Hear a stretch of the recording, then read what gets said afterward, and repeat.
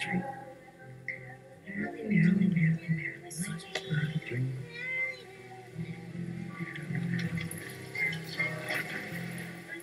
Hey guys, I thought it was about time to do another instalment in my greatest films of all time series. You can see my previous videos, the first one for As Good As It Gets and the second one for In Bruges.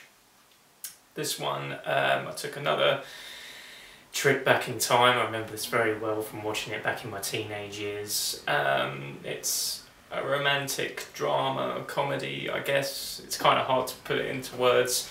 Uh, I'm sure most of you are aware of this film by now. Um, it has become a bit of a classic in its own right, and that's um, I'm overjoyed that it has become a classic, so I think it really deserves that status. It's a beautiful film by writer Charlie Kaufman, who before this point had been most well known for being John Malkovich and the brilliantly unorthodox spin-off adaptation, both of which he collaborated with Spike Jonze on, um, and by director Michel Gondry uh, who's most well known, I guess, for his music video work with uh, Daft Punk, The White Stripes, and Bjork. This one, I think, is the ultimate combination of two really creative minds in film right now, and it is Eternal Sunshine of the Spotless Mind.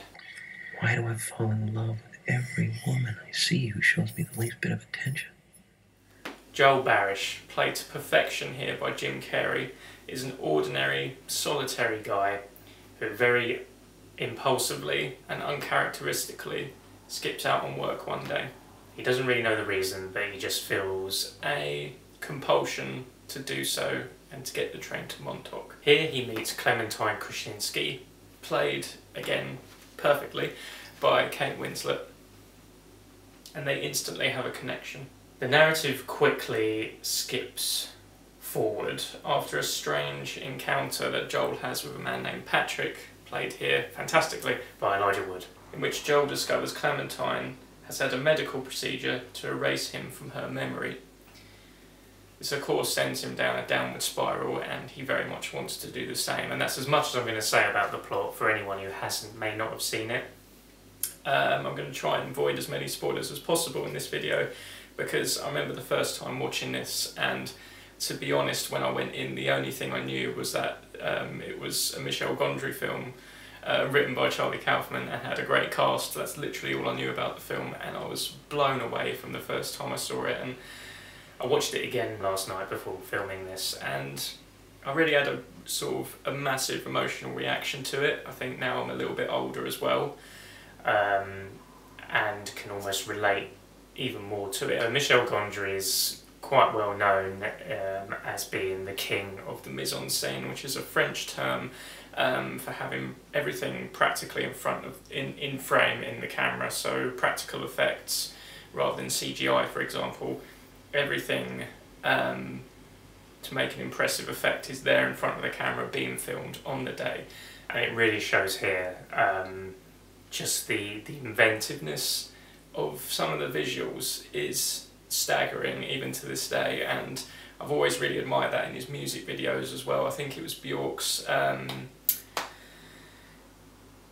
think it was either Hyper Ballad or Army of One that he did.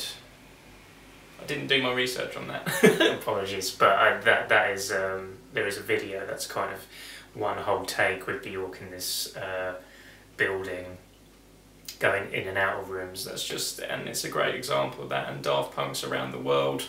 Um, he does have this real knack of doing everything either in one shot or just, or even if it's not in one shot, just doing multiple takes, but having everything in front of the screen and it almost has the effect of that not a lot was done in post production, even though that's not true. There are effects added in post production, as shown in Eternal Sunshine, uh, filters and such but overall the effects of for example in the dreamscapes that Joel and Clementine Joel encounters um, he wakes up in bed and there's uh, he's in a pile of sand because his memories are conflicting with each other and that's all done on screen, there's no CGI or anything, and it's a really refreshing watch. Charlie Kaufman, as well, who's behind the script here, is, I think, one of the most powerful modern writers he uh, I've always been really impressed with him since watching being John Malkovich and I was just really taken by the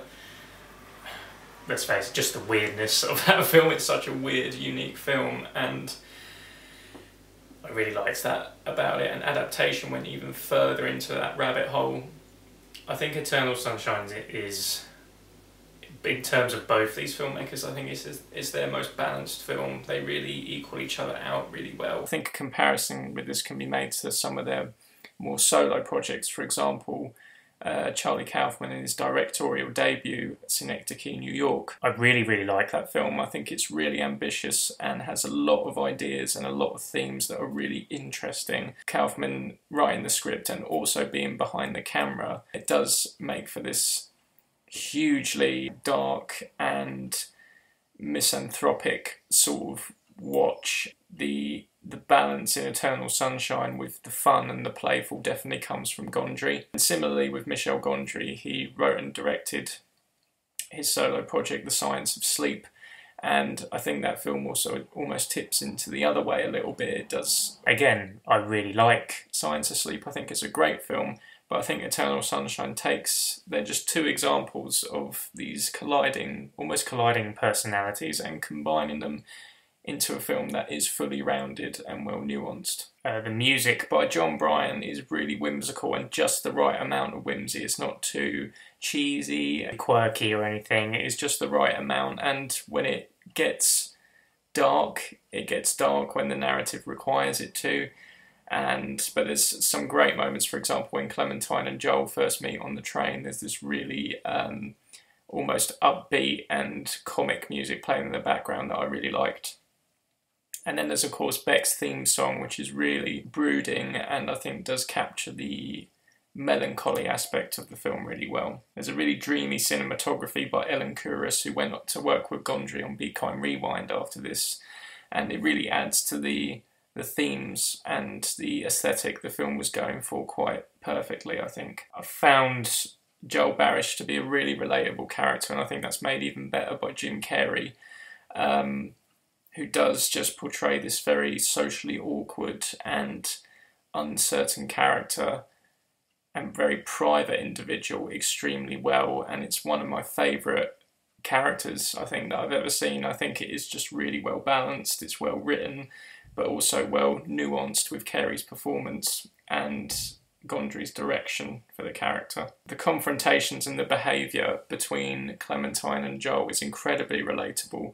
I think when they end up having an argument in bed and an argument in, in the street even about certain things. It's just a, a very it's a great example of two opposites colliding and they, as they say opposites attract these kind of discussions are always inevitable in any relationship and i think it does portray that really well um, with joel being quite a quiet and uh, almost secretive individual, and Clementine being very outgoing and sensitive as well. They both are sensitive characters, but very much display it in their own way. The narrative is richly complex, but hugely rewarding, and I think on the more you watch it, the better it gets with each and every watch. Joel ex- expresses his hesitation to try new things, which I did find quite relatable as a young adult as well. That it's perfectly encapsulated towards the beginning of the film when Joel is being encouraged by Clementine to come and try some ice skating just on this pool of ice. Um, and he's not sure, you know, what if it breaks? But she's just, you know, she's very daring and impulsive, as she commonly states uh, in, in the film. Encourages him to try something new and exciting, and he does, but he very tentatively steps on this pool of ice, almost like a penguin. and I really noticed it watching it again this time round it was something that I found quite an interesting touch. And even more so because I do remember this interview that Jim Carrey did with Empire magazine back in 2011 when he was uh, just about to release Mr. Popper's Penguins. He talks about his stories with the penguins on set and how much he relates to those characters. And he, he even states a particular point where he says, We don't belong on water and we don't belong on land. We don't know what the heck we are and I think it's a great quote because it, it shows that he's. I, I I might be reading too much into this, but I do think that this particular shot in Eternal Sunshine, showing him wad- waddling, uh, a bit uncertain of himself on the ice, it just goes to show he has kind of thought about this before, and I think a nice little addition to this performance that adds to the character's personality and his feelings. That's something I noticed just on the last time watching when I watched it again last night, and there's also other things. Um, I remember the third time, there's a scene where Joel's chasing after Clementine in one of his memories, and you see she's got a leg missing. and it's just things like that. Like the first time you see it, it's really jarring, and oh, that's that's strange. Um, but it just adds to the again the dreamlike and almost nightmarish quality to some of the sequences. The whole cast are great with Tom Wilkinson as Howard, who has his own subplot that's just as rich and well well written as the main plot. The other characters such as Stan, played by Mark Ruffalo, and in particular Mary, played by Kirsten Dunst, brings just as much as the main plot. It brings just as much humour as that does, but also has a very uh, serious undertone to it that is just really enthralling watch.